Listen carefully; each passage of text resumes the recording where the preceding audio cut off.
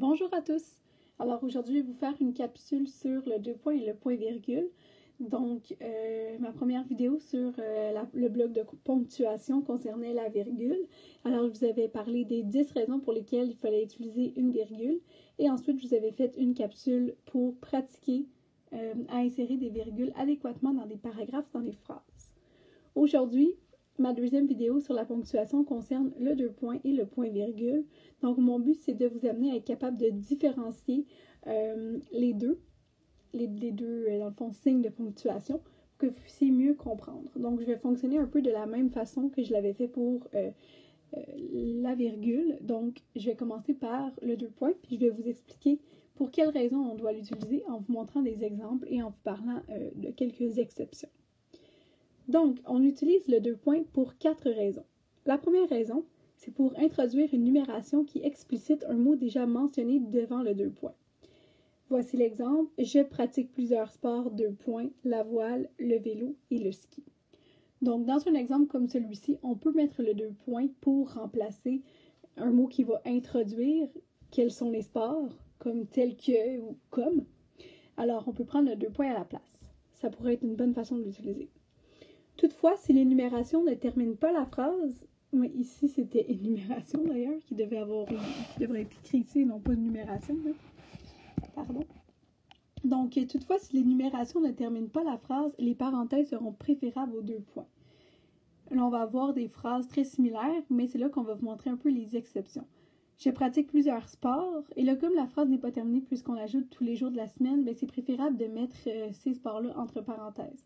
Donc, je pratique plusieurs sports, entre parenthèses la voile, le vélo et le ski, tous les jours de la semaine. Ici, ça ne serait pas approprié d'utiliser les deux points, en fait. Autre contre-exemple, on ne met pas de deux points euh, si un mot introduit déjà l'énumération. Comme je vous disais tantôt, alors si on a un tel que, comme, etc., euh, on ne mettra pas en fait euh, de deux points parce que un ou l'autre s'équivaut. Donc, il faut choisir entre l'un ou l'autre. Donc, l'exemple avec, la même phrase, ce serait je pratique plusieurs sports tels que la voile, le vélo et le ski. Alors, on va choisir entre le deux points qui est ici ou le tel que ou un autre mot dans ce style-là. Euh, et on ne peut pas mettre les deux. On ne peut pas mettre je pratique plusieurs sports tels que deux points. Ça, ça ne fonctionne pas. C'est syntaxiquement incorrect en français. Autre contre-exemple, on évitera de mettre un deux points directement entre le verbe et son CD, même si ce CD est une énumération.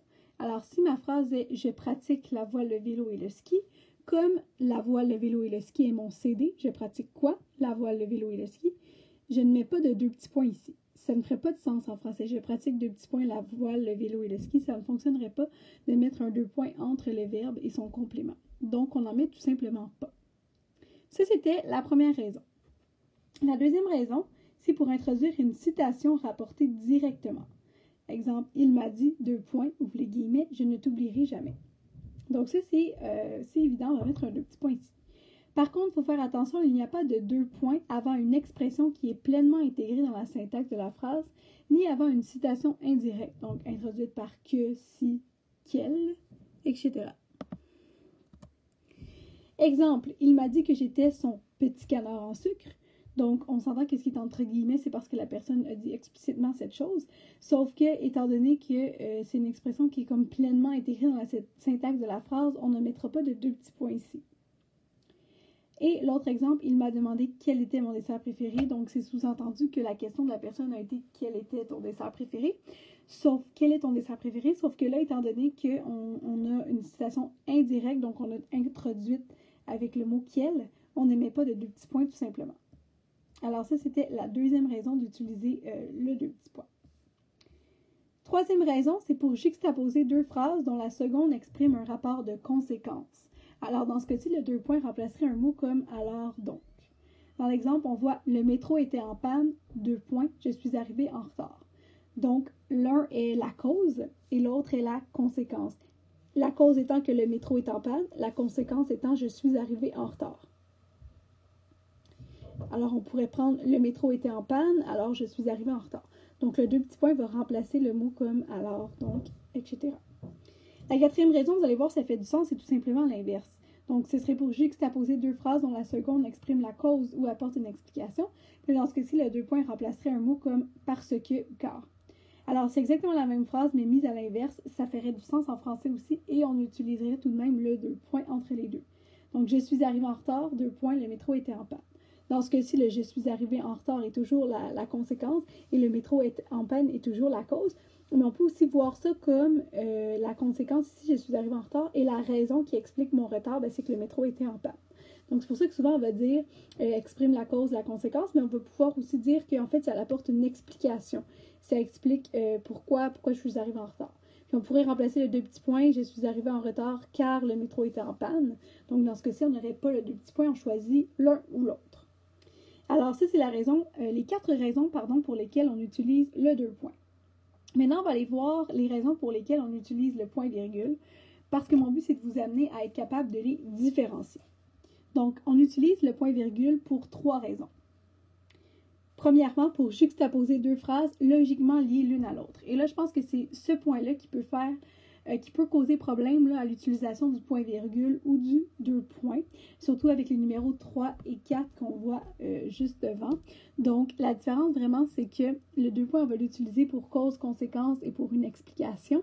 Alors que le point-virgule, on va vraiment l'utiliser si les deux phrases sont logiquement liées l'une à l'autre. L'exemple qu'on vous donne, je vais à Québec, toi à Toronto. On avait vu cet exemple-là pour la virgule, c'est le même qui revient. Donc si on a le point-virgule parce que les deux phrases sont logiquement liées entre elles. Et même dans ce cas-ci, toi à Toronto, ça pourrait pas être une phrase en soi. Elle est logiquement liée à je vais à Québec. C'est pour cette raison qu'on les sépare avec un point-virgule. Deuxième raison, pour énumérer des éléments contenant déjà des virgules. Par exemple, je pratique plusieurs sports. Deux points la voile, qui est un sport gracieux, et le point-virgule parce qu'on amène le prochain sport que je pratique. Donc le vélo, qui est un sport d'endurance, et un autre point-virgule pour amener le dernier sport, et le ski, qui renforce la musculature des jambes.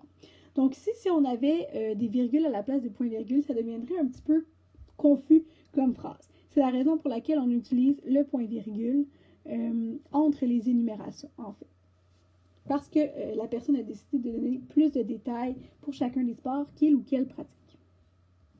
Et finalement, troisième raison, c'est peut-être la plus connue, pour séparer les éléments d'une énumération à la verticale, donc je pratique deux points. La voile, point virgule, le vélo, point virgule, et le ski. notez qu'à la fin de l'énumération, c'est un point qui va là. Donc, on pourrait, y avoir, pourrait y avoir plein, plein d'énumérations. Il y aurait toujours un deux petits points à la fin de chacun, et le dernier aurait un point. Donc voilà, c'est ce qui complète les quatre raisons pour lesquelles on utilise le deux points et les trois raisons pour lesquelles on utilise le point-virgule.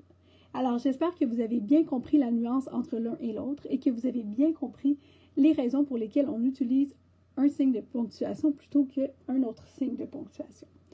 Dans ma prochaine capsule, je vais vous présenter euh, des phrases dans lesquelles vous allez devoir choisir le bon signe entre le deux points ou le point-virgule et aussi, vous allez devoir choisir la raison parmi ces trois raisons-là aussi, ou les quatre raisons d'en haut si vous choisissez le deux points. Alors, j'espère que les exercices vont vous permettre de consolider vos apprentissages que vous avez faits dans la présente vidéo.